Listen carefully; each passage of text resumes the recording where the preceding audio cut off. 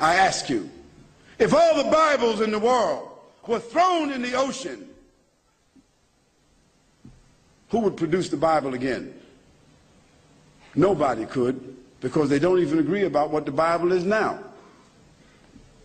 But if all the Qurans were thrown into the ocean right now, all of them,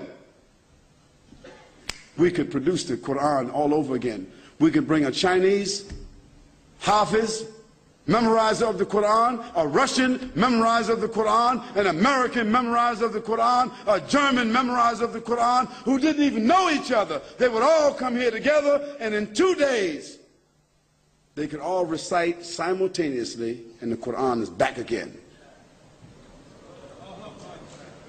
You owe it to yourself to read this powerful scripture. Don't ignore it. You cannot afford to ignore it. Either it's profound, either it's from God, either it is comprehensive, either it is as I say it is, or it is not. At least you should investigate it.